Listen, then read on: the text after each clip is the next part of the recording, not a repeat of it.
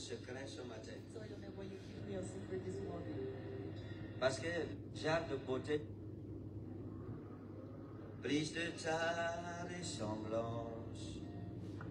Plus de toi, oh, plus de discernement. Et paramila, sarami seri. Dis à ton voisin que tu l'aimes. Voilà, bonsoir, bonsoir, bonsoir, bonsoir, bonsoir.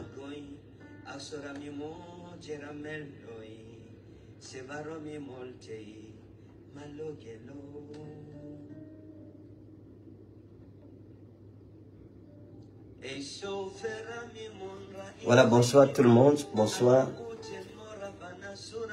Nous attendons nos frères, nos bien-aimés. Partageons la vidéo et nous allons continuer la deuxième partie ce soir.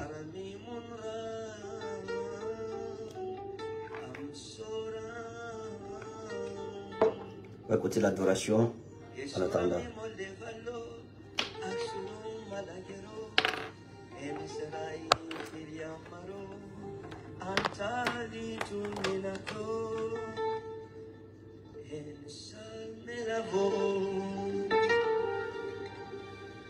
Pesaramora ina amurni, salami mora banalikum, salami mora bansalo, nel flumin ante matarikum. En surumima efli, amazarami manuloi, firmalumi laloi. Asura mi morevo e c'era me e le manca l'ove e ne surumina lo e ne surumina lo del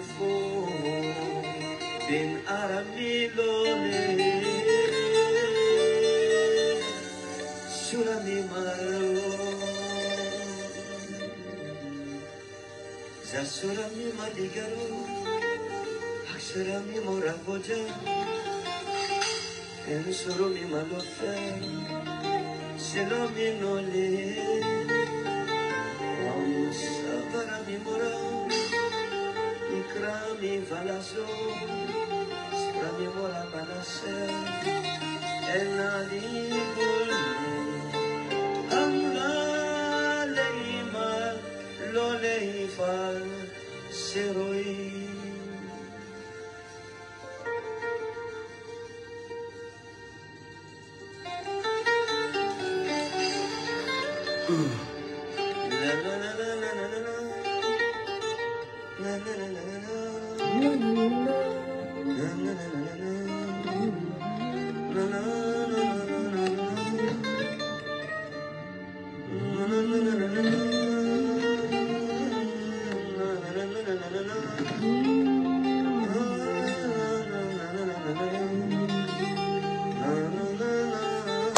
Partageons la vidéo, partageons la vidéo s'il vous plaît. Partageons la vidéo. Essermi marofilo,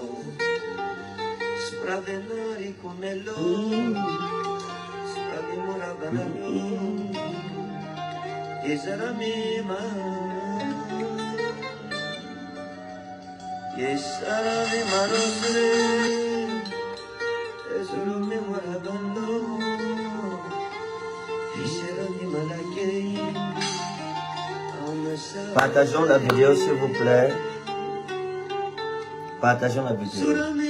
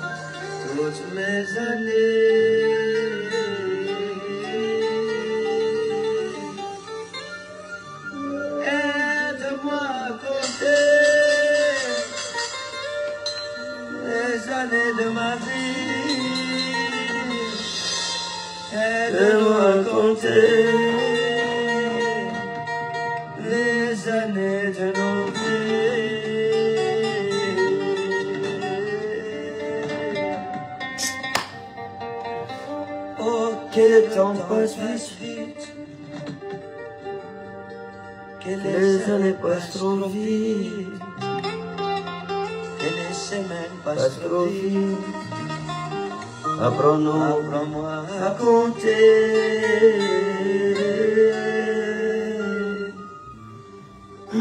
Και δεν τα παστροφή Και δεν γιώρο παστροφή Δεν είσαι μεν παστροφή À compter.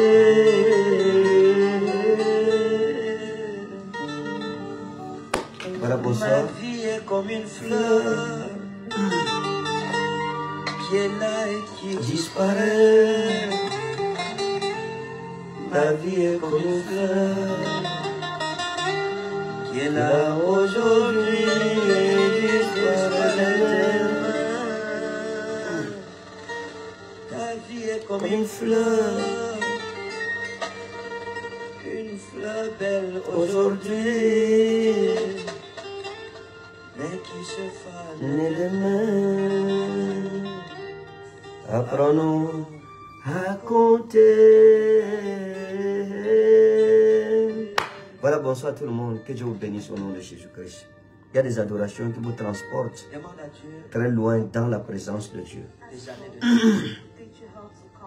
Il y a des adorations, comme j'ai l'habitude de dire, lorsque vous adorez et que vous ne vous retrouvez pas loin dans sa présence, si vous n'avez pas encore adoré. L'adoration, c'est le moment qui vous emmène.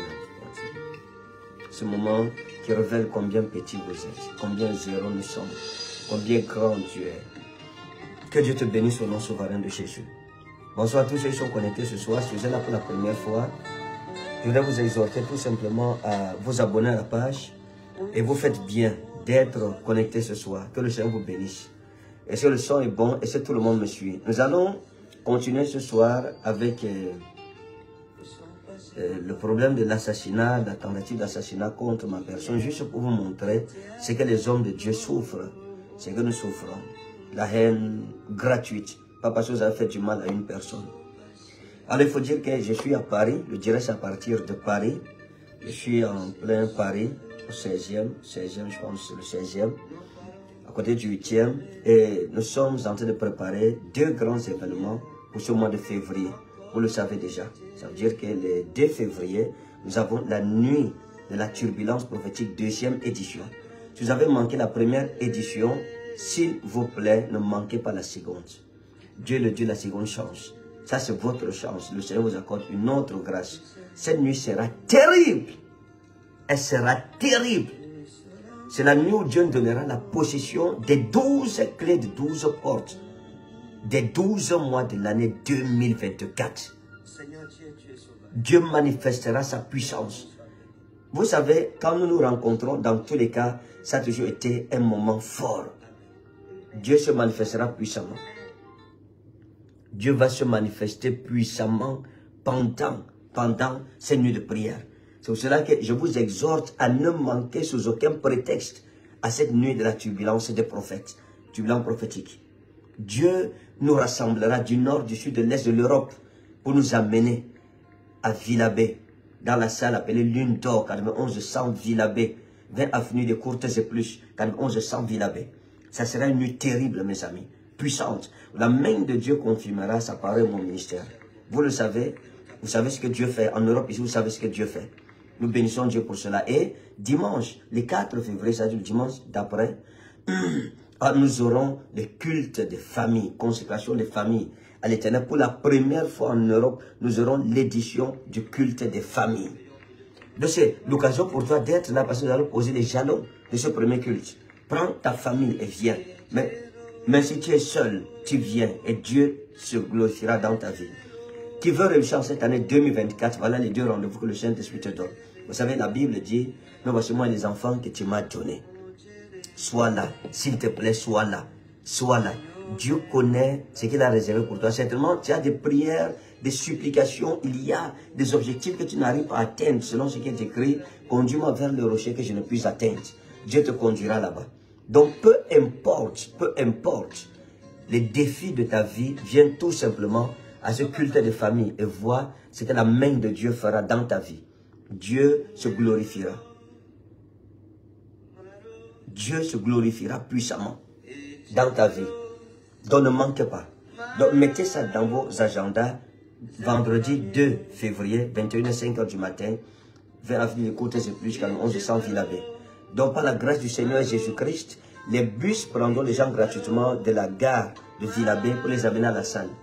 Et dimanche, euh, pour le vendredi, c'est à partir de 17h. Dimanche, le culte commencera à 10h. Et les bus porteront gens à partir de 7h à la gare de Villabé pour les amener au niveau de la salle gratuitement. Que Dieu te bénisse au nom souverain de Jésus de Nazareth. Donc c'est la nuit des étoiles qui brille. Oh Dieu, fais briller mon étoile. Bien-aimé, l'élévation vient de Dieu. La Bible dit que l'élévation ne vient ni de l'Occident, ni de l'Orient, mais l'élévation vient de l'Éternel. Dieu se manifestera puissamment. La main de Dieu sera redoutable pendant cette nuit. Donc, vous ne pouvez pas être en Europe, entendre parler de ce programme et rester chez vous. N'acceptez pas ça. N'admettez même pas ça. Ça veut dire que ça ne passe même pas à côté de ton esprit. C'est-à-dire, ne tente même pas de commettre cette erreur.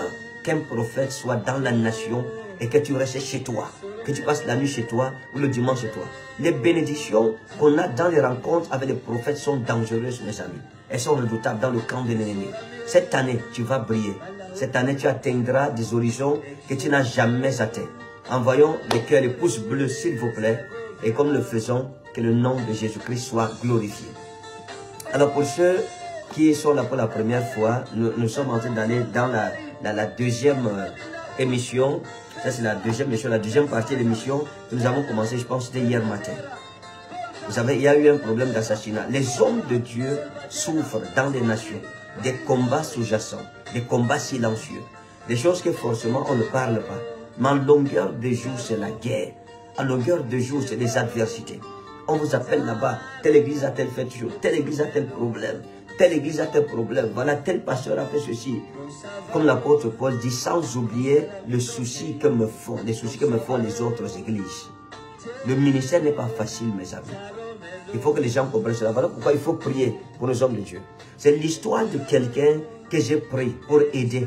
J'ai pris une personne pour lui faire du bien et la personne a rallié la cause de mes ennemis et puis a pris de l'argent qu'on lui proposait pour m'assassiner, pour me saboter d'abord. Pour aller dire que je suis un sorcier et puis en plus pour aller me saboter dans une radio, la radio la plus écoutée, la capitale. Donc nous allons ce soir, par la grâce du Seigneur Jésus, continuer. Nous avons commencé les audios. Je vous laisse écouter les audios sans interrompre.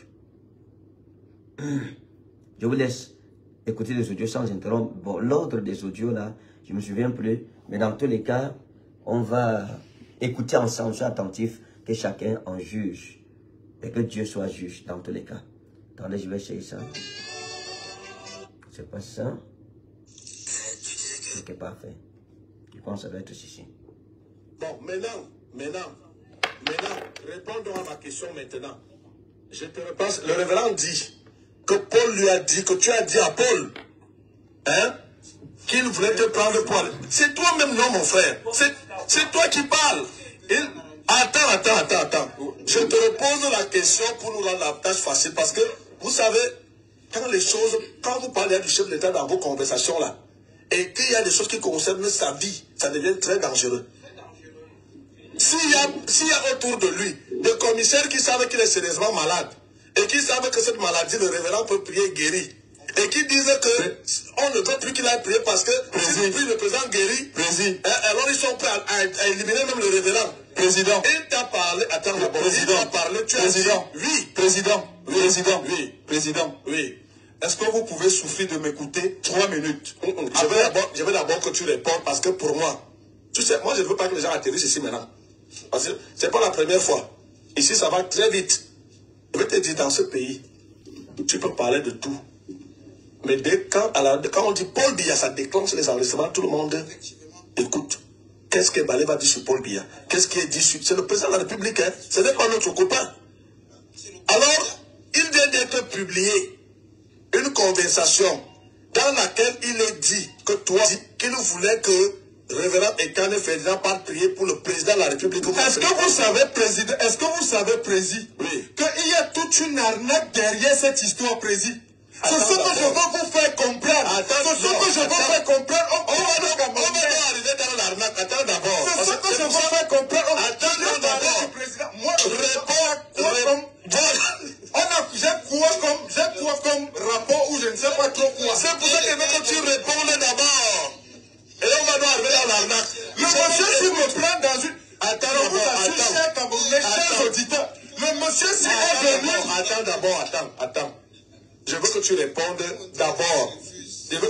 répondes d'abord à ma question, simplement.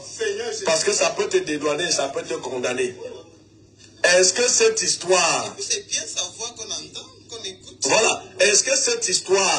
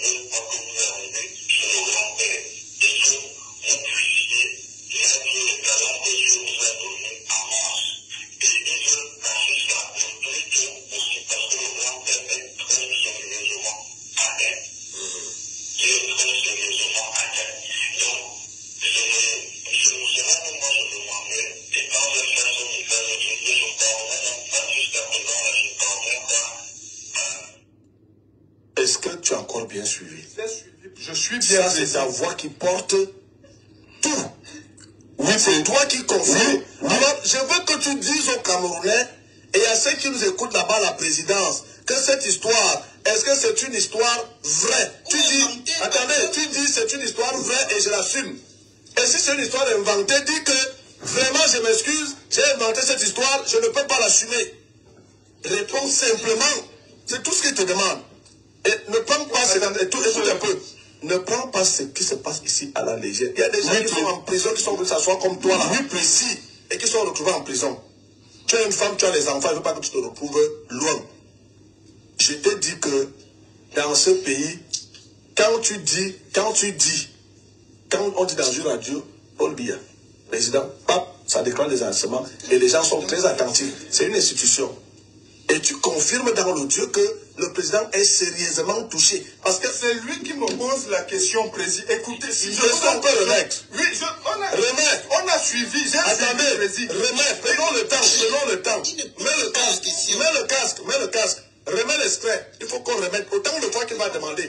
Remets l'extrait d'Anel et Yenga. Il y a des mois, je parle. Paul m'a dit que tu lui as dit qu'ils t'ont dit qu'il- qu'avant il voulait me prendre de prier pour le grand père. Mais que après ils ont changé d'avis et qu'ils ont dit qu'ils ne veulent pas que je prie pour lui parce que ils craignent que je prie. Et que si je prie pour lui, ils sont prêts à m'éliminer physiquement. C'était ça. C'est ça, euh,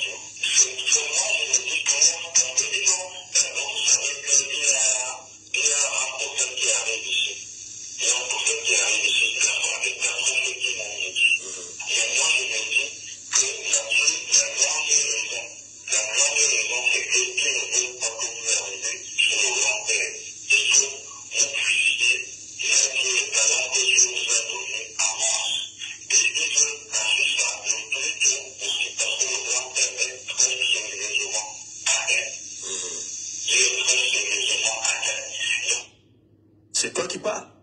Qu'il est très sérieusement atteint. Ça veut dire que l'état de santé du président, tu es au courant? Et Comment tu es au courant de son état de santé? Comment tu es au courant de son état de santé? Comme tu attends, ne m'amène pas à te poser toutes les choses qui vont encore te condamner. Je veux seulement que tu répondes. Je repose peut-être c'est une cinquième fois que je pose la même question et c'est la dernière fois que je pose cette question. Après, tu vas assumer les conséquences de tout ce qui va découler. Je décline la responsabilité de ma radio de ce que j'ai diffusé. Parce que l'auteur est là avec moi. Moi, je ne blague pas avec les choses de l'État. Quand ça concerne dans la vie du chef d'État, là, je ne suis pas, je ne blague pas. Alors, je te repose la question une dernière fois et tu dois répondre en toute âme et conscience. Cette conversation avec le révérend Ekane, toutes ces déclarations, sont-elles réelles? C'est-à-dire que c'est des faits que tu as vécus ou alors c'est des faits inventés et imaginaires pour un autre intérêt auprès du révérend? Si c'est réel, dis que tout ce que j'ai dit là est vrai et je suis prêt à assumer. Si ce n'est pas vrai, dis au peuple que je m'excuse, c'est des histoires imaginaires, je ne peux pas les assumer. C'est simple.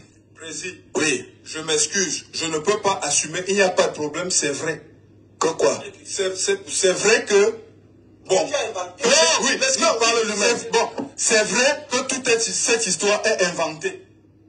Ça va. Il n'y a pas. Euh, il y a- ne dis pas, non, ne, ne parle pas, ne biaise pas. Non, je ne biaise pas, président. écoute, je veux que tu parles au Camerounais en toute âme et conscience.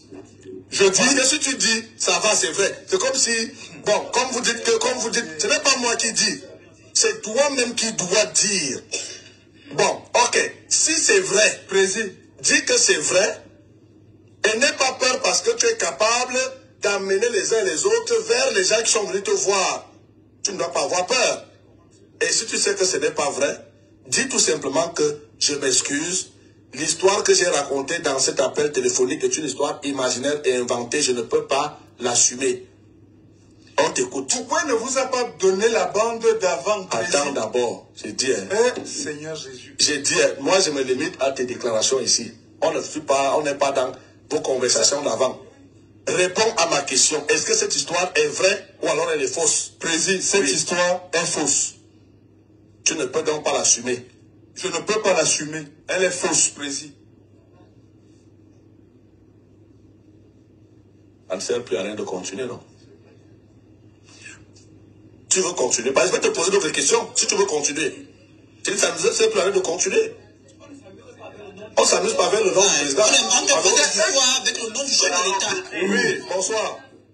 Bonsoir, baiser. Oui? Même les, trois mois qui revendiquent les trois mois là n'est même pas, ne sont pas vrais. Donc, il faut qu'il nous dise la vérité. Voilà. Le téléphone, allô? Allô? Oui. Oui. Oui. Nous dire, l'équipe, je ne peux pas inventer une histoire comme ça là. Non, ça ne s'invente pas. Il doit nous dire les deux personnes qui sont, qui sont parties le voir. Et doit aller, les personnes avec Tu ce qu'on dit Ok, merci. On dit qu'on doit te prendre pour que tu parles dire parce que cette histoire est loin d'être une histoire fausse. Qu'est-ce qui se passe? Oui. Président, Oui. Allô même s'il faut frapper. Allô Oui. Oui. Albertine. Albertine, on t'écoute. Oui, président. Je voudrais que ce soit, bon, avec ta voix, je dis ceci, que ce soit la dernière fois, et que sommes une émission pour faire le jeu. Le soir, demande une dernière chance. S'il présente vraiment ses excuses, c'est qu'on ne donne toute cette chance à quelqu'un de cela trop. Merci. Allô choses. Allô Oui, on vous écoute. Oui. Faut parler de ce parce que de l'État. Quand il parle du chef d'État, on ne vient pas mentir, a des choses comme ça, on a faisant la Si on le fait, vous créez le problème. Faut qu'on ait le chef qui nous dit. Merci. Allô? Allô? Allô? Oui. Ah, monsieur Duval, vraiment débarrassez-vous de ce garçon. Il n'est pas sérieux. Merci. Alors, les gens demandent que je te garde même ici, que tu ne partes pas, qu'ils viennent te prendre. Que- Qu'on le laisse partir avec sa malchance. Allô? Qu'il parte avec sa malchance? Allô, oui. Oui, il faut le retenir. Allô? Il faut le retenir. Non. Allô?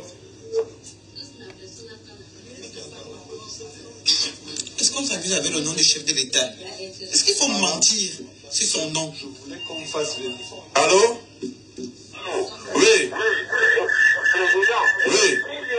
il y a des, des phrases, une phrase qui est sortie là. Oui. Éliminer certains physiquement, ça veut dire quoi Voilà.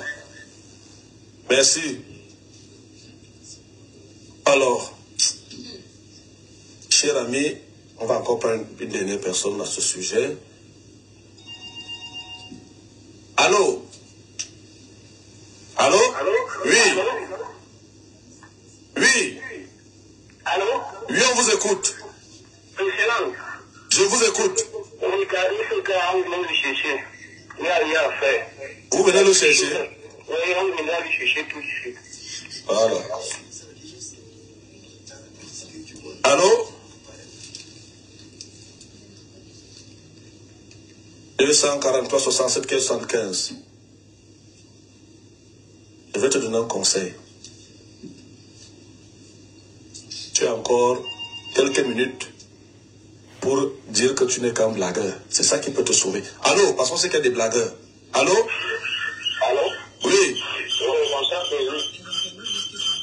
Bonsoir. Oui. Merci. Qu'est-ce que je fais Les internautes veulent que tu récapitules. Oui, euh, je vais récapituler pour eux. Allô? Allô? Oui, oui. Il a dit que c'est quel musée qui sort d'abord? Parce que même s'il y a des questions qu'on ne peut pas laisser, il dit c'est quel musée Il dit que j'ai laissé le musée où vous m'avez posé? Quel musée tu étais d'abord? Merci. Allô? Oui, allô? Bonsoir. Hein? Il a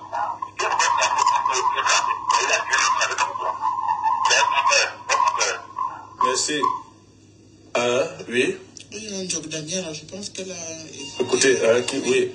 qui dit euh, ce gars sera très très important pour euh, dire beaucoup de choses aux Camerounais. Exploitez-le. Allô?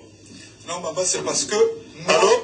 Où je suis là, on m'a prévenu mais je venais ici uniquement pour mon argent. Allô? Parce que ce monsieur même qu'il appelle, qu'il est en train d'appeler Paul là, ce jeune Allô? était avec lui. Quand tu lui dis Allô non, ça veut dire que tu es Oui. déjà contre lui. C'est lui qui Oui. a commencé. Quand vous suivez bien les appels, c'est lui qui ne fait que parler de, Oui, bonsoir. de, Attends, attends, attends. de chef d'État. mais- Écoute un peu, bonsoir. Oui. Ce monsieur, Merci. Alors, merci. Allô? Je suis encore en direct. Je suis encore à la radio. Allô? Allô? Oui. Bonsoir. Machin. Merci. Ok. Oui. Est-ce que l'histoire euh, du chef de l'État, c'est vrai? Maman, C'est vrai. c'est archi, archi- j'ai dit maman, c'est archi faux. Allô? Oui, bonsoir. C'est archi faux, maman. Oui. Mais c'est toi qui parles. Attendez, attendez. Oui. parlait de son salaire de 200 000. Ça veut tourner tout le monde dans ce pays, on paie 200 000 à quelqu'un. Vous comprenez qu'il y a beaucoup de choses qui sont Il me donnait 200 000. Moi, si 200 000 salaire brut. Oui. On dit que ce que tu as dit est trop petit, tu as encore des choses à dire. Oui, merci. Il y a quelqu'un en ligne? Allô? Y a- Bonsoir. Comment vous Une connaissez minute. chez moi De- Bonsoir. Allô Oui, bonsoir. Oui, bonsoir, tu parles. Oui. Je pense que Chez moi Oui. Ils sont, c'est le monsieur, je les connais où? Oui. Ils sont, Donc ils se sont fait passer, ils se sont fait passer pour Merci beaucoup. des antigans. Attends d'abord, attends. J'ai demandé ici que si cette histoire, ce n'est pas seulement l'affaire du chef d'État qui m'intéresse, c'est toute l'histoire que tu as racontée. Est-ce que c'est vrai? Tu dis c'est faux. Maintenant, tu dis encore que les messieurs sont venus. Si les messieurs sont venus, ça veut dire que l'histoire est vraie. L'histoire est vraie. Ça veut dire que l'histoire est vraie. venus. Mes, mes voisins Attends, ça veut dire si les messieurs sont venus, Mes voisins. oui, ça veut dire que c'est une histoire vraie. Mes Oui. voisins sont- On est venu Oui, vas-y. Attendez, attendez, attendez. Allez-y. Les- mais où j'habitais là Les- les voisins peuvent témoigner. Je ne veux pas, je veux pas dire où j'habitais. Ils peuvent témoigner. Ils sont venus Les voisins peuvent témoigner que les gens sont tap- tap- te prendre dans la maison. Je me cherchais chez moi. Oui, j'ai dit, hein. Oui, euh, Si l'histoire de ces hommes est vraie, ça veut dire que tout ce qui est d'ici est vrai. Et par conséquent, tu as des choses à dire. quand je leur ai dit que mon oncle est aussi commissaire, je veux savoir de quel c'est. Vous savez, quand il m'amène, ce qui, ce qui me, ce qui m'interpelle, quand il m'amène au commissariat, Quel commissariat? On- on- on- quand vous allez au commissariat, quand vous, vous venez à la On vous amène dans quel commissariat? Vous venez à Oxygène. Écoutez, on, on va aller doucement. On vous amène dans Vous quel commissariat? Attends, c'est bon. On vous amène dans quel commissariat? Ils m'ont amené à, comment on appelle la boulangerie Élysée À la DLPJ. Boulangerie Élysée, là, là, le commissariat. DLPJ. Quand on arrive à D- euh, Donc ça veut dire que ce ne sont pas des mensonges assois-toi, Assois-toi. Assois-toi. Je suis debout. Assois-toi. Je Ça veut dire que tu as des choses à dire. C'est quand je lui dis que Attends, attends, attends, attends, attends. Ça veut dire que l'histoire Oh, n'est pas une histoire vraie, n'est pas une histoire fausse. Oui. Ça veut dire que c'est une histoire, Seigneur. c'est une histoire vraie. J'ai entendu. Je demande si c'est une histoire vraie. Si les gens t'ont pris et tu dis qu'ils t'ont emmené la DRPJ. Le premier coup de fil. Ils m'ont quand même appelé d'abord. Ça veut dire que tes déclarations tout à l'heure ça veut dire que tes déclarations sont vraies. sont vraies. Ça veut dire que tes déclarations sont vraies, c'est ça? Mais Moi, euh. Que ce soit, que ce soit Ça veut dire que tes déclarations sont vraies, c'est ça? Le chef d'État, moi je n'ai rien. Eh, eh. Pardon. Pardon. Parce que C'est la conversation, si, quand ils ont commencé, Ça veut dire, ça veut dire que les ça veut dire que la conversation, les choses qui sont là sont vraies. président Duval, Oui. je ne peux pas venir devant.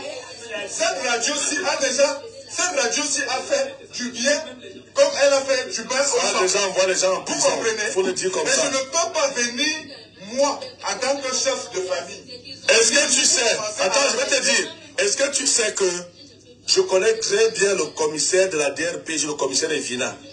Le commissaire venu. Evina, qui est, qui est une connaissance à moi. Et que je peux appeler le commissaire Evina, il vient te chercher maintenant, tu lui montres ses collaborateurs qui t'ont amené là-bas, et et qui t'ont parlé de chef de l'État monté, de ceci est Je monté. n'ai pas dit écoutez. Oui. Écoutez, non, parce que là, vous êtes en train de corroborer. Vous, vous corroborez seulement ce que. Euh, Non, on comprend ce que tu dis. Lis d'abord, lis d'abord, on écoute encore. Peut-être on se trompe, on va encore écouter. non, on a, Vas-y. on a écouté. Il- Pourquoi il ne vous a pas montré Attends d'abord, attends. Jeune, euh, Lis d'abord. Il Oui. dit jeune gars. Ok. On va prendre notre extrait. On va prendre notre extrait. Voilà, lorsque vous voulez faire du bien aujourd'hui, il faut beaucoup réfléchir. Euh, c'est le quantien maintenant. Non, non, non, non, non, non, non. Première question, c'est-à-dire que si on veut chercher un prêtre ou un pasteur pour aller prier par le chef de C'est ça.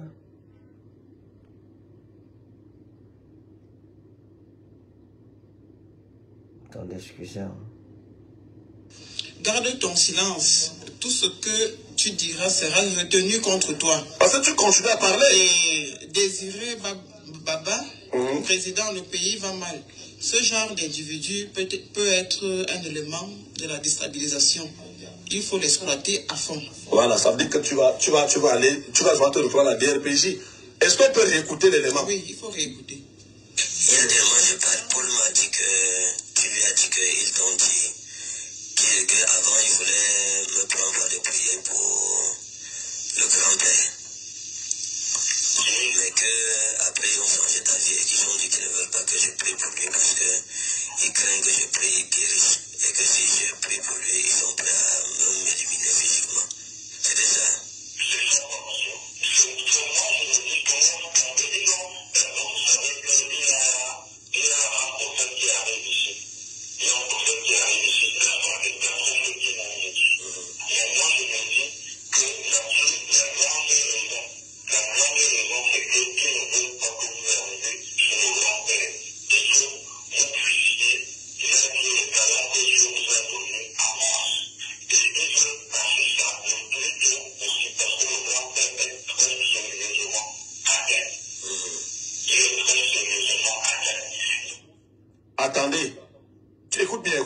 Ici, tu dis, le révérend dit que Paul dit que, ils t'ont dit donc ceux qui sont venus t'arrêter, t'ont dit, et tu confirmes leur dire. C'est moi qui appelle Paul Prési. Écoutez-moi aussi, Paul.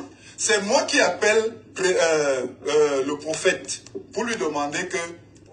qui appelle M. Ekane.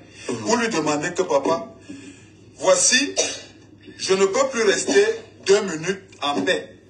On m'appelle, on m'interpelle. Là, présentement, j'avais dit au docteur, au docteur, si que, voilà, le docteur s'est même fâché.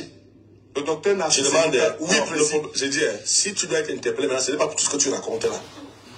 Je t'ai dit ce qui m'a fait froid au dos et qui me fait froid au dos. C'est-à-dire la conversation qu'on vient d'écouter. Il- le prophète dit bien que Paul m'a dit que ils t'ont dit, donc les gens qui sont qui t'ont qui t'avaient arrêté là, les gens qui t'ont amené à la DRPJ là, d'abord c'est là le problème. Ça veut dire que si déjà la DRPJ, il y a des gens là-bas, d'après toi, pas d'après Balé, il y a des gens là-bas qui sont venus te dire que on a voulu que et, et quand ne pas prier pour le président, mais ils ne veulent plus. Que s'ils parlent même prier, ils vont l'éliminer physiquement. Oui, après maintenant, mieux. Et voilà. Voilà. Et puis, c'est toi qui dis que ils t'ont dit que le grand-père est sérieusement malade. Très sérieusement, il a Ça veut dire donc quoi, jeune homme? Écoute mon frère. Écoute, moi je ne viens pas ici pour m'amuser. Si vous créez vos histoires là-bas pour venir faire du sensationnel, moi je ne suis pas là pour le sensationnel. Quand je trouve une affaire grave, je trouve qu'elle est grave, ça veut dire donc que je vais donc t'amener tout à l'heure à la DRPJ, chez le commissaire Evina, et tu vas lui présenter, il va amener tous ces éléments. Tous ceux qui sont euh, anti-gang là-bas. On va te présenter et tu vas montrer les deux qui sont venus te dire que Paul est sérieusement malade et que Seigneur, prie- Écoutez, écoutez, président. Oui. Je t'écoute. Tu as dit que l'histoire était fausse, donc il fallait arrêter là. Bon. Allô? Oui. Allô Bonsoir. c'est. Oui, oui. Suivez. C'est c'est bien ce garçon, il a des choses à dire. Le problème, c'est que monsieur a peur de la sécurité. Donc, Oui. fort de le protéger. Le le par le dessus, vous allez voir, la C'est euh, avril, mai, mai, juin. Bon, attendez, ok. Ok. euh, Écoute, Oui, président. si on t'amène à la DRPG, est-ce que tu es capable d'identifier les deux individus? Président. Oui. Réponds-nous sincèrement. Est-ce que tu es capable Si d'identifier ces monsieur se présente à moi, je saurais dire que voici les deux Oui, ça veut dire que si le commissaire vient appelle tous ces éléments, on les place devant toi. Les deux monsieur. Oui, c'est ça qu'il dit que mais ils étaient. Tu dis que Ils sont, venus, ils sont venus dans, dans un taxi, ils sont venus Oui, dans un taxi. c'est pour ça qu'il dit donc, euh, parce que ça commence à être très sérieux. Ça veut dire que si le commissaire Evina présente tous ces anti-gangs devant toi, tu peux identifier que voici les deux qui m'ont dit, qui, qui m'ont kidnappé et qui m'ont dit Parce que. qu'en fait, ils sont, oui, ils ne sont pas venus. Quand on vous interpelle, n'est-ce pas, on vient avec une convocation.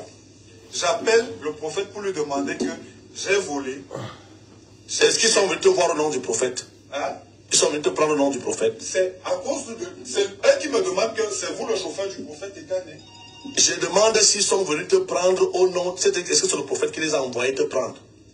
C'est c'est donc là où je voulais en venir depuis le début, euh, euh, président. Uh-huh. C'est là où je voulais en venir. C'est-à-dire que. le début. Oui, Parce que la, pour la petite histoire, Uh-huh. président, Mhm. mon téléphone sonne. Je suis en train de faire la lessive avec Mhm. mon épouse et nos enfants. Vous comprenez? Quand mon téléphone sonne, on me demande de passer à la DR, à la DR, c'est DSPRPJ ou quoi, quoi, quoi. Je lui dis, ça se trouve où? Ils me Mhm. disent que c'est au niveau de la Ah, boulangerie et lisez. Oui. Je suis, j'ai pris mon taxi. Oui. Non, écoutez, écoutez, je prends mon taxi. Uh-huh. J'arrive à la DR, PJ. à la DRP, Parle au micro. à la DRPG ou DRPJ. Alors, le monsieur qui m'appelle, Mhm. je relance mon téléphone, je l'appelle, je lui dis que je suis à la DRPJ. Il me dit qu'ils sont partis en intervention. Mhm. Voilà comment ça commence. Le lendemain, Est-ce que tu as le. On peut retrouver le numéro? Président, voici le téléphone de ma fille. C'est pour ça que je dis qu'on a pris le téléphone de ma fille. Dieu m'aide-moi. Ok. Demandez-la. Continue le lendemain. Le lendemain, ils arrivent à la maison. Allez là-bas. Le lendemain, ils arrivent chez moi. Je ne sais même pas par comment ils ont fait pour savoir où j'habitais. Mhm. Vous comprenez, Président Ils me prennent, ils m'amènent. Ils, me, ils viennent, ils se présentent. Comme quand on dit souvent, euh, présentez-vous, machin, truc. Ils, je dis, je laisse du pain. Ils ont à la- donné du nom. Ils ne m'ont pas. Ils sont présentés comment? Tu as gardé même le prénom seulement? Oui, donne le prénom seulement. Un seul prénom que tu as gardé. Je ne sais pas si j'avais le numéro de Paul. J'ai dit, quand ils se sont présentés, tu n'as pas gardé un seul prénom? Non, dans ma tête, puisque dans ma tête, c'est flou. Ok, ils sont présentés, ils te disent quoi? Ils me disent que ils veulent que je les accompagne au commissariat. Je demande donc que je vous accompagne au commissariat par rapport à, à quoi? Mhm. J'ai, il y a une convocation, ou bien j'ai fait, ou bien vous m'interpellez par rapport à quoi? J'ai volé, ou bien je ne sais pas trop quoi. Mhm. pas- Non, ne dites pas que je Continue, perds, continue. Ne, ne dites pas que je perds du temps parce que c'est pertinent. Vas-y, continue. Alors quand je leur dis, on va au commissariat, on arrive à la, Quand tu leur dis quoi? À la. Qui était là quand ils sont venus te prendre? Il y avait une, dans mon ancien, Ta femme peut témoigner non ma femme, c'est ma femme. Tu faisais la lessive avec ta femme, non? Ma, c'est elle qui est président. Bon, ta femme, ta femme sait que tu étais allé. Tu À la oui, j'étais, à- oui, elle savait. Que les gens t'ont pris. Quand je l'ai appelé, quand je l'appelle, oui, je lui dis que je suis au commissariat, je reviens. C'est-à-dire qu'elle sait que les gens étaient venus te Il prendre. me prendre à la maison. Il y avait un voisin qui avait vu la Il scène. y avait les voisins, il y avait les voisins. Il y avait, Ils avaient vu. il y a- qui était là, qui était à la, au, au Est-ce que je peux avoir le numéro de ta femme? 651. Doucement. Vous savez que les femmes n'entrent pas souvent dans certaines choses longtemps. hein. Euh, coupe les micros.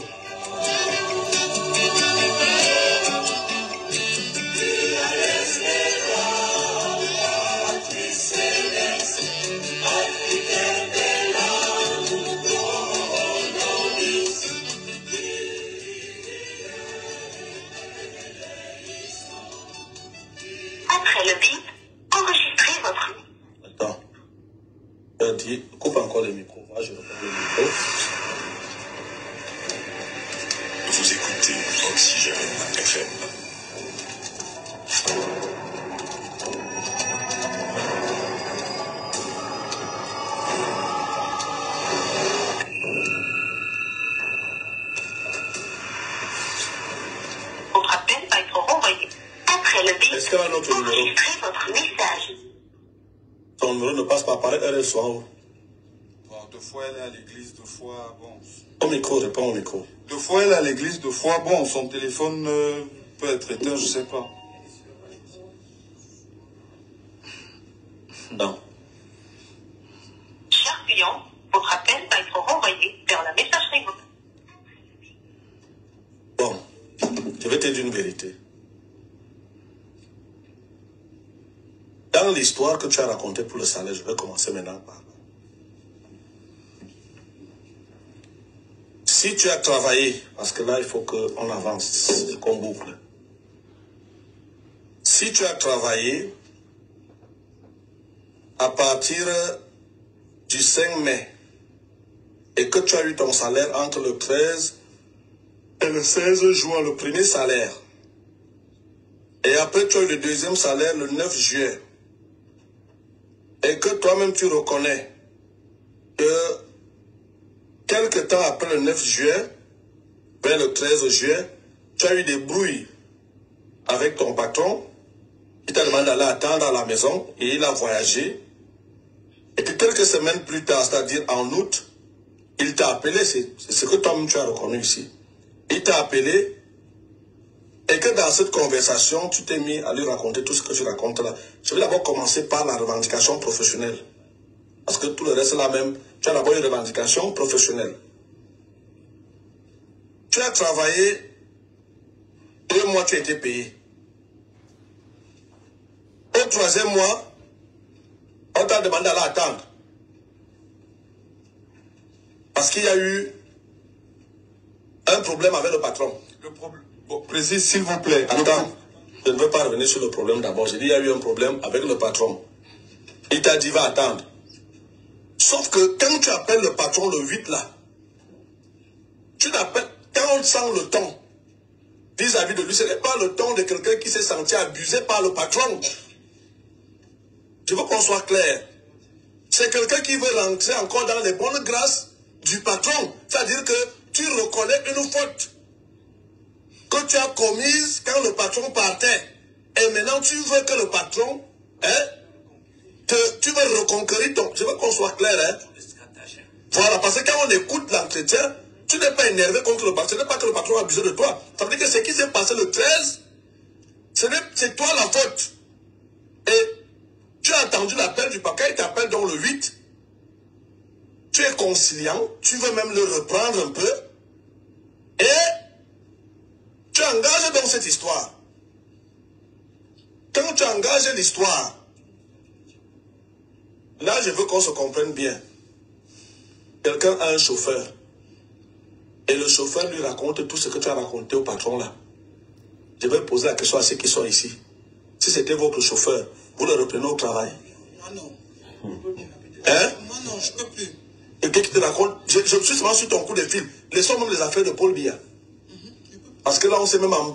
Restons sur le plan professionnel. Parce que tu es venu faire une revendication professionnelle. Tu, tu veux trois mois d'arrêt. Nous sommes convenus de que tu n'as pas trois mois d'arrêt. Tu as travaillé deux mois, on t'a payé. Quelques jours à- au début du troisième mois, tu as fait une faute. On t'a demandé d'aller attendre. Et on t'a rappelé. Et toi-même, dans ton temps, tu as un temps de quelqu'un qui veut le travail. C'est-à-dire que tu reconnais le tort. Parce que si on remet, on va voir que c'est quelqu'un qui reconnaît son tort. Maintenant donc, maintenant donc, est-ce que toi-même, ou ceux qui nous écoutent, tu as un chauffeur qui te raconte tout ça là au téléphone? Tu vas encore prendre le chauffeur là pour te conduire? Non. Alors sur le plan professionnel, je vais conclure avec tous les auditeurs. Tu n'as rien à revendiquer au révérend Ekane sur le plan professionnel. Maintenant, le reste de votre conversation n'engage que toi. Si le patron de la DRPJ a suivi et qui serait intéressé de vouloir connaître l'équipe de ces éléments sont venus faire ça et ont raconté des choses sur le président, il te cherchera. Il ne me revient pas à moi d'être te livrer là-bas. Parce qu'on peut aussi arriver là-bas, tu changes d'avis, ça devient une histoire banale et moi je me, rends, je me rends compte que je suis ridicule. Il est mieux que si c'est le ridicule, que lui m'envoie les gens te chercher, là où ils, vont, ils t'ont d'abord pris, et tu, tu, le ridicule va sortir entre vous là-bas. Voilà, moi en ce qui me concerne, en ce qui me concerne, l'impression que j'ai pour aider le patron de la DRPJ, le commissaire Raymond pour qu'il ne dépense pas de son énergie.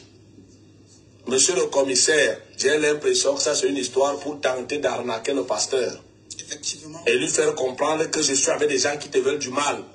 Mais si tu me fais bien, si tu me reprends au travail, tu me gardes bien, je ne vais pas te livrer. Mais les gens veulent ta peau, les gens veulent ta mort. Ils sont venus me voir, ils m'ont te saboter à l'église, ils m'ont te faire ceci, ils m'ont même dit que, ils ont même dit que ta vie est en danger. C'est des stratagèmes, c'est que j'ai demandé au début que est-ce que tu vois tous les films d'apprentis arnaqueurs ou des experts arnaqueurs? Parce que ça, c'est, d'après moi, monsieur le commissaire de la DRPJ, monsieur Evin Antoine Raymond, je crois bien, que je n'ai pas ajouté un prénom. Monsieur le commissaire de la DRPJ, si vous voulez mon avis, cet enfant a voulu s'essayer dans des histoires qu'il a pu de voir à la télé. Et ça a mal tourné. Donc, pour moi, il n'aura rien de bon à vous fournir. Il ne pourra pas identifier un seul de vos éléments. Donc, ne perdez pas le temps même à le chercher. Et moi, je ne peux pas l'amener là-bas. Parce que cette histoire-là, je ne sais pas si, pour que le commissaire me comprenne ces éléments, est-ce que quand on veut prier pour le chef de l'État, on passe par la DRPJ Ok, voilà, on va arrêter à ce niveau. Il faut préciser que ça c'est un frère en Christ, entre guillemets. C'est un enfant de Dieu. C'est un enfant de Dieu. Et puis, pour moi, je me suis dit, ok, c'est un frère, il faut le prendre. Voilà pourquoi j'ai l'habitude de dire que les grands problèmes et nos grands mots sont issus du grand nombre d'amis ou de personnes qui nous entourent. Lorsque vous faites entrer de mauvaises personnes dans votre vie, alors ces personnes vont vous apporter des problèmes énormes. Et c'est ce qui est arrivé. Parfois, ce sont les personnes pour qui vous vous investissez le plus qui vous trahissent. Et pour rien en fait. Qui prennent plaisir à vous faire du mal. Alors c'est un jeune homme que j'ai pris comme un en Christ, persévérant dans l'église d'un frère à moi, d'un ami à moi, de quelqu'un qui m'est cher, le docteur Noka Narcisse. Et puis, et là, il travaille un mois, deux mois, il a un très mauvais comportement. Et puis, il commence à me dire qu'on essaye de le payer pour me tuer. Je lui ai dit, bon, quand c'est comme ça, mon frère, il faut d'abord aller attendre à la maison. Quand c'est une histoire de on te paye, il y a des gens qui cherchent à m'atteindre, atteindre ma famille et tout cela. Je lui dit, non, attends d'abord à la maison. Je vais te rappeler, parce que je voyageais à l'époque pour l'Europe. Je suis venu ici en France. Donc, mes amis, l'histoire est devenue très sérieuse. Hein. On est allé au tribunal. Après cela, on est allé jusqu'au tribunal. Il a été condamné au tribunal. On l'a dit au tribunal. J'ai dit non, je ne veux pas qu'on le mette en prison. Mais il a pris l'engagement. Si quelque chose m'arrivait ou à un membre de ma famille, pendant un nombre d'années, c'est lui qu'on prendrait pour responsable. Donc, ça, c'est quelqu'un à qui j'ai voulu faire du bien. Après, vous demandez, finalement même, on va vivre comment? On va faire comment? Si les frères en Christ voilà ce que ça produit. Vraiment, on fera comment? On est parfois dépassé. Le bien que tu fais, c'est ça qu'on prend pour te détruire avec aujourd'hui, pour t'atteindre. Et ceci doit nous enseigner de faire attention aux accusations portées sur les uns les autres. Il faut faire attention. C'est pas parce que vous avez entendu quelqu'un parler de quelqu'un. Ce jeune homme, il m'a saboté, il m'a saboulé. Il a sali mon nom dans la ville de Yaoundé. Il allait partout. Je n'arrive pas à comprendre ça. Les jours où il fait cette émission, je suis dans ma voiture, je suis en train de rentrer à la maison. C'est quelqu'un qui m'appelle pour me dire, ah, euh, prophète, écoutez, votre euh, chauffeur, ce qu'il est en train de faire là, je vous dis la vérité devant le Seigneur. J'ai gardé les larmes ont commencé à couler de mes yeux. J'ai dit à Dieu, Seigneur, comment est-ce que c'est possible? Donc ça faisait comme si je rêvais. Parce qu'à l'époque, avant que je lui dise d'aller attendre à la maison, je lui avais demandé de chercher une maison. De chercher une maison, de déménager. J'allais payer la maison et puis aménager sa maison pour que lui et sa famille viennent habiter là-bas. On avait parlé avec lui. Donc, il était en train de chercher la maison. Et après cette histoire d'assassinat, sont venus, histoire de chef de l'État, service de secret, service de renseignement, etc. Donc, je lui ai dit de retourner d'abord à la maison attendre. C'était grave, comme le journaliste a dit, vous ne pouvez pas continuer à employer quelqu'un qui vous dit qu'il y a des gens qui sont venus le voir pour lui demander d'aller en plein culte, dire que vous êtes un sorcier. Vous êtes un sorcier. Ah non, ce n'est pas, pas possible. Donc, c'est compliqué, c'est compliqué.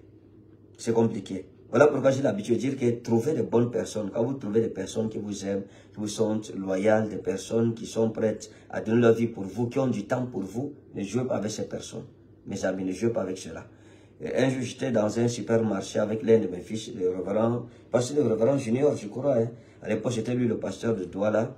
Et puis, il y a une jeune dame, une jeune femme qui m'a vu. On est entré dans son magasin. La jeune dame est venue vers moi, dit, oh, prophète c'est pas vrai, prophète oh non, c'est pas vrai. Est-ce que je peux vous embrasser?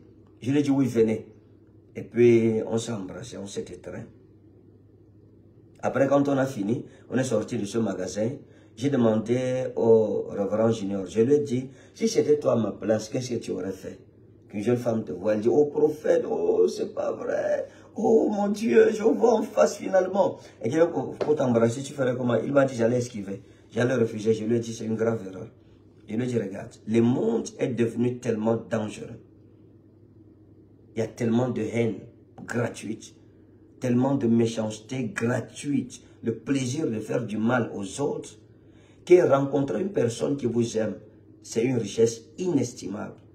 Je lui dit, lorsque tu croises une femme, voilà une femme comme celle-là, qui ne me connaît pas, elle me voit pour la première fois. Et elle veut juste m'embrasser. Je lui dit, non, il ne faut pas jouer avec cela. Trouver une personne qui vous aime, je lui dit, c'est un trésor, c'est un don de Dieu, c'est une bénédiction de Dieu. Parce que c'est une grâce. De voir quelqu'un vous aime, c'est devenu même rarissime. L'amour vrai est devenu une espèce rare, menacée en voie de disparition. Et donc, moi je pense que parfois vous êtes même embrouillé à la fin, vous demandez si vous faites du bien. Si vous faites du bien, à la fin, ça sera comment? Les hommes sont trop ingrats aujourd'hui. Faites du bien, et puis on va tourner ça contre vous demain. Quelqu'un pour qui tu as donné ta vie, ton temps, ton argent, etc. La même personne va aller te saboter demain, comme ce jeune homme. Va aller dire des choses. Et il faut faire attention aux accusations qu'on porte sur les uns les autres et surtout sur les hommes de Dieu. Vous entendez une histoire sur les hommes de Dieu. Ce n'est pas parce que quelqu'un parle avec éloquence. C'est un jeune homme très éloquent, très convaincant au début.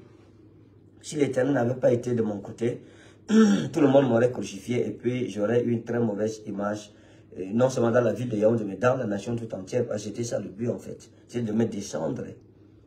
Et c'est pas parce qu'une histoire semble très convaincante qu'elle est vraie. C'est pas parce que quelqu'un qui raconte une histoire éloquente qu'il est vrai. Alors il faut faire attention. La Bible dit tu ne porteras pas le faux témoignage contre ton prochain. C'est quelqu'un qui était parmi mes enfants. Il m'appelait papa. Très jeune. Il ne me saluait jamais debout. Il se mettait trois genoux pour me saluer. Moi-même, j'étais étonné. à l'époque, Maman Shalom était encore vivante et Maman Shalom avait dit, méfie-toi du gars là. Le genre de personne qui fait le courbette comme ça là, demain quand va te sortir une carte, toi-même tu ne vas pas croire. Et je me souviens que quand je l'ai recruté à cette époque, j'avais une mission, je ne sais pas si c'était à Douala ou à je vais faire deux semaines dehors.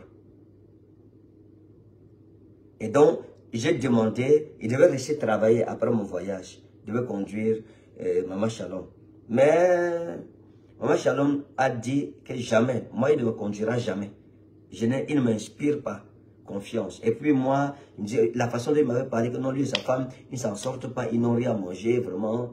Et, et, mon cœur aussi. Mon cœur m'a mis dans des sérieux problèmes, je vous assure. la bonté, la bonté, peut-être il faut le discernement sur la bonté. J'ai eu beaucoup de problèmes en faisant du bien aux gens. Et donc, Maman Shalom a dit non. Voilà pourquoi, quand j'ai voyagé, il est rentré. Il a attendu que je revienne. Il ne l'avait jamais conduite. Elle n'avait jamais accepté cela. C'est moi qui le conduisais. Donc, bien aimé, euh, faisons attention. Ne faisons pas du mal autour de nous. Ça ne sert à rien. De répandre la haine, la jalousie, l'envie autour de nous, la calomnie, de blesser des gens qui ne vous ont rien fait. La Bible dit, il dit, ne médite point le mal contre ton prochain lorsqu'il demeure tranquillement près de toi. Il faut faire attention. Soyons des bonnes personnes. Vraiment, c'est pour cela que j'ai prêché un dimanche. Je demande pardon à tous ceux que j'ai offensés. D'une façon consciente ou inconsciente, parce qu'on est des hommes, ça peut arriver. Vraiment, je demande pardon. Parce que il n'y a rien à gagner à faire du mal aux gens. Surtout une personne qui ne vous a rien fait. Une personne qui ne t'a jamais volé une brebis, qui ne t'a jamais pris ton argent, qui ne t'a jamais insulté. Parfois même, une personne dont tu ne connais pas tout le nom, mais tu portes sur toi d'aller dénigrer la personne, d'aller raconter des choses sur la personne. Un jour, j'ai reçu un de mes petits frères dans le ministère, un prophète majeur au Cameroun. Il est venu, il m'a raconté l'histoire qu'un apôtre lui a dit, que l'apôtre là lui a dit, que le prophète Kane ne t'aime pas, il ne vous aime pas. Il a ses secrets, il ne vous dit pas ça. Que chaque mois, chaque mois, le prophète Kane Ferdinand va au Congo, rencontrer le papa de l'église du Congo. Il y a un papa au Congo qui est en train de faire des choses extraordinaires là-bas. Il a, je pense, la télé, c'est Amen TV. Papa Paul Motombo, je crois, Motombo. Il dit que moi, je vais chez le papa là, c'est le papa là qui me donne la puissance. Et que lorsque quelqu'un arrive là-bas, c'est moi qui recommande l'homme de Dieu. Et le prophète lui a dit que non, mais attends, ce que tu dis n'est pas vrai. Moi, il ne m'a jamais dit. Il dit, ouais, c'est quelqu'un qui n'aime pas votre bien. Il aime seulement être en haut, vous. Pourtant, quand il a dit ça, j'ai dit, appelle l'apôtre là, je ne peux pas croire qu'un homme de Dieu puisse mentir avec autant de conviction. Il a appelé l'apôtre devant moi. Il appelle l'apôtre. L'apôtre lui dit, ouais, j'étais décané là, c'est un jaloux, c'est un négri. Tu vois, il veut monter seul, vous les vous utilisez. Il ne peut pas te dire ça parce que s'il te dit c'est que tu auras aussi le secret, tu auras aussi, tu vas savoir ta part. Mes amis, j'étais hurluberlué. J'étais luluberlué. J'étais ahuri. J'étais étonné. J'étais dépassé. Et donc, je lui ai dit que moi, je ne suis jamais allé au Congo. Jamais de la vie, je ne suis jamais allé au Congo. Et papa Motombo, là, je ne l'ai jamais vu physiquement. Je ne connais pas où son église se trouve. Je ne connais pas le nom de son église. Jamais. Mais cet apôtre a mis dans la tête du frère, en vue de nous séparer, un homme de Dieu, respectable, pour qui j'avais beaucoup de respect. Mais j'ai été déçu, vous voyez. Et on peut raconter des histoires comme celle-là. D'autres qui ont raconté que tous les vendredis, je vais au Nigeria. Et la personne te parle avec conviction. Parfois, les enfants qui ont été avec nous, qui partent dehors, raconter des âneries. Pour finir, j'ai un de mes fils, un de mes fils qui... Euh, un jour, la femme d'un serviteur de Dieu m'appelle. Et la femme de cet homme de Dieu m'appelle. Et la femme euh, de cet homme de Dieu me dit, ah, il y a ton fils tel qui est venu et il nous a raconté que tu as dragué sa femme. Tu as fait la cour à sa femme. Quand ils étaient fiancés. Parce que sa femme travaille à la télévision, dans notre chaîne de télé. Donc, j'ai dit pardon. Elle me dit oui. Et je ne suis pas le seul à qui il a dit ça. Et dernièrement, quand je voyageais, une de mes filles qui ne connaissait pas l'histoire m'a redit la même chose. Qui racontait partout, quand j'étais fiancé avec sa femme, que sa femme lui a dit que moi, je lui ai fait la cour, je l'ai dragué. Et donc, pendant le culte national dernier, en juin passé, je suis allé du sport pour préparer l'événement. Et il était là parmi mes fiches. Et je l'appelle donc, il vient. J'ai dit, ok, écoute, j'ai quelque chose à te demander. J'ai appris, il y a la femme d'un homme de Dieu qui m'a appris que tu lui as raconté que ta femme t'a dit que moi, je l'ai dragué, je lui ai fait la cour. Quand vous étiez fiancés, pendant qu'elle travaillait encore à la télévision. Et je lui ai dit, il faut dire à ta femme que je veux la voir et je veux te voir. Et à deux, elle va te répéter où et quand je l'ai dragué, où et quand je lui ai fait la cour? Il m'a dit, non, non, c'est pas vrai. Non, c'est une histoire inventée, on a juste raconté. Je lui ai dit, c'est pas raconté. La femme de l'homme de Dieu qui m'a parlé, elle ne peut pas mentir. Elle ne peut pas mentir, pour rien au monde. C'est la vérité, tu as dit ça. Et après, après j'ai appris que sa femme racontait partout que moi je l'ai dragué. Je lui ai dit, il faut que tu saches une chose. Ton épouse, lorsqu'elle a travaillé à la télé, la seule fois où j'ai parlé avec ta femme, à l'époque où j'étais encore fiancé, j'étais allé à la base de la télévision. C'était tard la nuit. Et je n'étais pas seul. J'avais pris, je passé l'aspirant Tino. Je lui ai dit, ok, on va aller tard à la base pour vérifier si les techniciens dorment là-bas ou bien si la nuit, ils font la programmation et ils rentrent chez eux. Nous sommes arrivés là-bas et puis je l'ai trouvée. Elle était à la technique. Elle était à la technique. Et puis, je lui ai dit qu'on sorte. On est sorti. On allait dans ma voiture. Et on a parlé dans ma voiture. C'était la première et la dernière fois que j'ai parlé avec elle face à face. La première et la dernière fois. Qu'on a eu un temps pour parler. On a parlé de son mariage, de ses fiançailles, ça se passe comment, c'est bien et tout. Et le jour-là, je lui ai demandé, je lui ai dit que pour ton mariage, est-ce que tu as bien réfléchi Elle m'a dit oui. Je lui ai dit que, voilà, voilà la suivante, sinon qui dit oui, oui, papa. Donc il se souvient. Et je lui, disais que ton mari, c'est ton petit frère, tu es sa grande soeur de loin. Elle m'a dit oui. J'ai dit, j'espère que tu ne vas pas le mépriser parce que généralement, quand la femme est l'aînée du mari, ça peut poser un problème si elle n'a pas la maturité. Je lui ai donné des conseils. Le Seigneur m'en est témoin. Il n'est jamais sorti de ma bouche une parole déshonnête vis-à-vis d'elle. Ou c'était pour que son mari l'aime, ou pour qu'on la respecte encore plus. Elle allait mentir à mon nom. Et j'expliquais à ma fille qui, qui m'a confirmé ça récemment, je lui ai dit, vous voyez, comment est-ce que vous allez réussir dans le ministère si vous ne respectez pas, si vous ne respectez pas le nom de votre père et le principe de la paternité divine? Comment quelqu'un peut s'amuser? Tu dis, mon fils, mais tu as l'audace d'aller raconter aux gens que moi j'ai dragué ta femme. Je pense que la moindre des choses aurait été, ok, ah, papa t'a dragué, ok, allons-y donc chez lui. Papa, vraiment, voici ma femme que voici, tu l'as draguée quand tu es fiancé. Répète ce que tu as dit. Ce serait parfait. Mais aller raconter des choses, parler de celui que tu appelles ton père, de quelqu'un qui, lorsqu'il se mariait, je leur ai donné l'église. Ce que je ne fais pas. J'ai demandé à la télévision de filmer leur mariage. J'ai demandé au pasteur d'être là pour leur mariage. J'ai mis tout ce qu'ils pouvaient être mis à leur disposition. Tout ce qu'ils m'ont demandé, j'ai accordé cela. Ils m'ont remercié comment? Aujourd'hui, le mariage, là est où Ils se sont divisés. la fille est partie. Lui aussi, il est de son côté. Comment pouvait-il être béni En maudissant le nom de leur père? Tu ne peux pas prendre le nom de ton père pour aller le vilipender. Vous voyez, les jeunes s'engagent dans le ministère sans maîtriser les lois du ministère. Or, celui qui enfreint les lois du ministère en payera les pots cassés. Il y a des lois qu'on n'enfreint pas. Moi, j'ai eu, par exemple, à expliquer à mes jeunes fils que si tu peux ouvrir ton église, ne pas avec les brebis de ton père. Tu ne peux pas réussir. Tu ne vas pas réussir. Moi, j'ai travaillé comme pasteur aux assemblées de Dieu. J'étais formé aux assemblées de Dieu. La première église on m'a fait en 2009, c'était une église des assemblées de Dieu. Après mon, ma, ma formation séminaire de théologie, je suis allé. L'église, j'ai trouvé deux brebis. Quand j'ai quitté, on était près de 70 personnes. Quand j'ai quitté les assemblées de Dieu, l'église, l'assemblée où j'étais pasteur, n'était pas au courant que je suis parti. Je suis parti sans dire à personne. Je n'ai aucune de leurs brebis.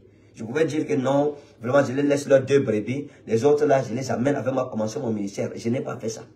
Je n'ai pas quitté les assemblées de Dieu en faisant le bruit. J'ai écrit une lettre de démission. Je suis allé voir le, le responsable national. J'ai voyagé pour cela. Je l'ai rencontré. J'ai dit, papa, pour telle, telle, telle raison, je ne peux plus être passé aux assemblées de Dieu. Voici ma démission. Il a vu, il a écouté, il m'a compris, il a prié pour moi et je suis parti. Je n'ai jamais détourné la brebis de quelqu'un. Je n'ai jamais dévasté la bergerie d'une personne. Mon ministère, je l'ai bâti dans l'intégrité et dans la justice depuis que j'ai commencé. Personne ne peut venir dire non à prophète Anne Ferdinand, on s'est embrouillé dans telle affaire. Jamais de la vie. Je n'ai jamais pris 5 francs en personne. Je n'ai jamais demandé 5 francs en personne. Que la personne se lève pour dire que le prophète là, il est en train de mentir. Moi, il est venu me demander l'argent. Je n'ai jamais fait ça. Tout ce que j'ai réalisé dans le ministère, c'est à la suite de mon travail.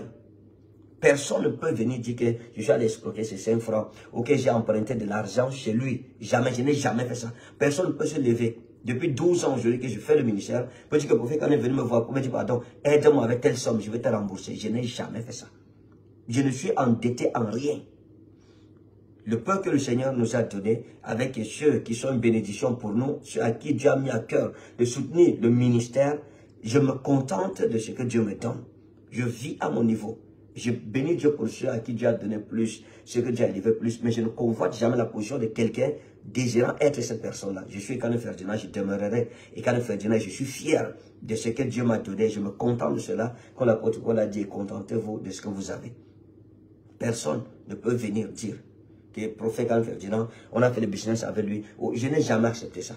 Je suis concentré sur l'œuvre de Dieu, sur le ministère et sur le ministère uniquement. Sur le ministère uniquement.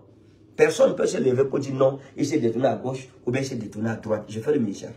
Et je ne me suis jamais impliqué dans les histoires de politique ou bien que tu montes, tu descends avec les politiques, jamais de la vie. Je me souviens qu'à une certaine époque, j'avais donné une prophétie sur le corps du premier chef de l'État camerounais.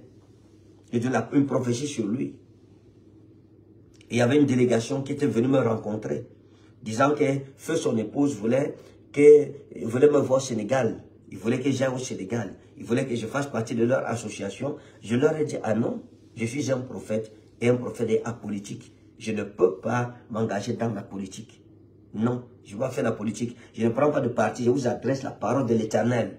Vous voulez connaître les choses qui vont arriver, vous venez, j'irai dans la prière et j'annoncerai la parole de l'éternel. Mais je ne peux pas faire partie de... Non.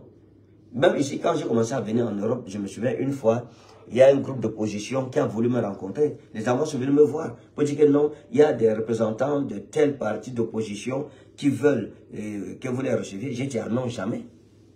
Jamais de la vie. Dans le contexte camerounais, ah non, non, je ne veux pas salir mon image. Je ne veux pas salir mon image.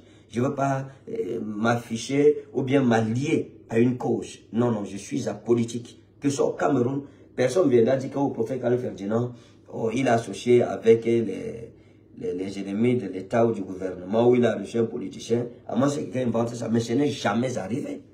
Même dans les nations où je vais, il y a des nations, je suis arrivé, le chef de l'État a envoyé son conseiller me rencontrer, et puis des opposants. J'étais demandé dans une nation africaine, les opposants ont tout fait pour me rencontrer. J'ai dit au pasteur que non, je ne peux pas les recevoir. Je ne veux pas créer de confusion, je ne veux pas. Ni pour le pays, là, ni pour moi-même, ni pour l'église, je ne veux pas. Je suis apolitique, je suis un prophète. J'écoute Dieu et j'annonce les oracles de Dieu dans ma génération.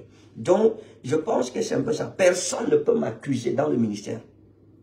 Ils n'ont se monté, c'est descendu, oh, tu es allé à gauche bien tu es allé à droite. Je suis resté là. Même lorsque l'histoire, l'histoire de, qui a mis le, général de Dieu, prophète Camden Genedor, dans les problèmes, l'histoire de l'argent là. C'était, je sais moi c'est quoi? On est venu me voir. On est venu me voir pour me demander d'investir aussi dedans, de mettre mon église dedans. Pas une fois, pas deux fois. Mais j'ai dit non, que je ne suis pas un homme d'affaires. Non, je suis un prophète. Je suis un homme de Dieu. Le Seigneur m'a appelé pour prêcher l'évangile je prends l'évangile. Je vis de l'évangile comme la Bible le dit. Donc c'est ça mes amis. Moi je pense que voilà donc quelqu'un à qui on fait du bien et qui va comme ça. Et si l'éternel n'était pas avec moi, si le Seigneur ne m'avait pas secouru, et si l'éternel, la Bible dit que si l'éternel ne nous eût laissé un reste, nous serions comme Sodome semblable à Gomorre. Si l'éternel ne nous eût laissé un reste, nous serions comme Sodome semblable à Gomorre. Si Dieu ne nous avait pas aidés. Cette histoire-ci, ça allait prendre ma tête. On allait dire, c'est un bandit, voilà, les gens là, ils viennent, ils s'affichent comme ça. Pourtant, il avait reçu son salaire. Dans tous les cas, ma prière, c'est que Dieu expose nos ennemis cachés. Que le Seigneur ne permette point que tu bâtisses ta vie avec les destructeurs de ta vie, pendant que euh, toi, tu te dis que non, ce sont des, ce sont des, amis ou bien des conseillers ou des intimes. Pourtant, c'est des gens qui veulent ton mal. Tu ne peux pas réussir dans cette vie si tu es mal entouré. Donc, je prie que Dieu assainisse ton entourage au nom de Jésus. Que Dieu expose les ennemis cachés de nos vies cette année. Nous ne pouvons plus vivre ainsi. Que toute personne qui est mal intentionnée, que Dieu n'accepte même pas que la relation commence. C'est-à-dire que Dieu qui connaît dans le futur, qui regarde dans les profondeurs du futur, si Dieu voit seulement que la personne-ci va te créer des problèmes demain, ou dans un an, dans quelques mois, dans dix ans, dans vingt ans, au nom de Jésus, que la relation ne commence même pas. Que l'Éternel t'épargne cette souffrance, qu'il t'épargne ces supplices au nom souverain de Jésus de Nazareth. Cette année 2024, peu importe les rassemblements des ennemis contre toi, que Dieu les expose. Que l'Éternel les expose. De même que l'Éternel m'a sauvé de cet ennemi caché. De même que Dieu te sauve de tes ennemis cachés au nom souverain de Jésus-Christ de Nazareth. Cette année, si tu te tiendras debout, personne ne te renversera. Aucun décret, aucune imprécation, aucune incantation ne, te déracineront. L'éternel t'a enraciné, il te maintiendra debout. Mille tomberont à ta gauche, dix mille à ta droite, tu resteras debout dans le nom souverain de Jésus. Et il faut savoir que ce vendredi 2 février, nous avons la grande nuit de prière. Viens, fais briller ton étoile. Il y aura des déclarations prophétiques puissantes. Tu en as besoin, ne reste pas chez toi. Ce sera à partir de 21h jusqu'à 5h du matin à Villabé. 20 avenue de Courtes et Pluches, 91 100 Villabé. La salle de fête appelée Lune d'Or. Et dimanche, le tout premier culte des familles, de consécration des familles à l'éternel en Europe. Bien aimés, voyageons de partout pour être présents en ce jour de fête. Mets des vêtements de fête parce que l'éternel fera de 2024 une année de célébration pour toi. Toutes les contradictions, toutes les prophéties contradictoires, nous allons les renvoyer dans le camp de l'ennemi. Ta vie sera assainie dans le nom souverain de Jésus-Christ de Nazareth. Je suis en France et je suis heureux d'être là. Que Dieu te bénisse et pendant que tu te prépares, que cette nuit soit une nuit douce pour toi et que Dieu te parle dans les rêves, qu'il te montre la face de tes ennemis cachés. Et si vous êtes connecté et abonné à une page qui n'a pas 280 000 abonnés, c'est pas ma page. Ma page a 280 000 abonnés. De regarder la page où vous êtes. Les arnaqueurs ont fait des pages où ils rediffusent rapidement tout ce que je fais, mes directs, etc.